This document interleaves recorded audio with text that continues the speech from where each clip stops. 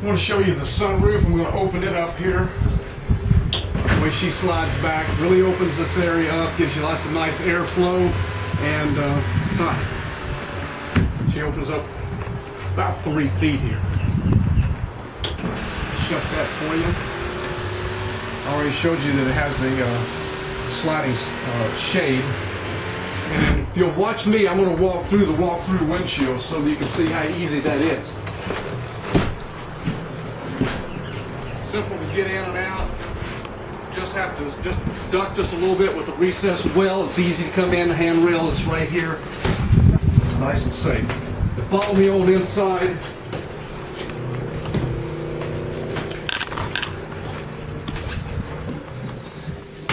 Going to the forward head, you want to see what how much room we had standing in the shower. This is the day head entrance coming in here.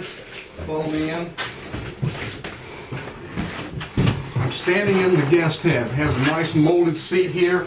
Makes it nice for you, but you've got good headroom. I'm six foot. I've got about another five inches or so here. Good elbow room inside here. This is a nice big shower.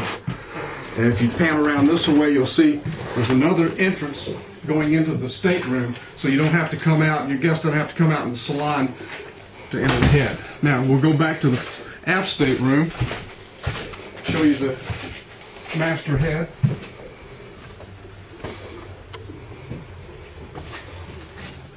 Come on in. Come on in, you'll have to step in, Alex. Unfortunately, there's no pause. Now I'm standing inside the master shower stall. Again, I've got probably six inches or so above my head here. Good elbow room around. No molded in seat, but a nice shower stall.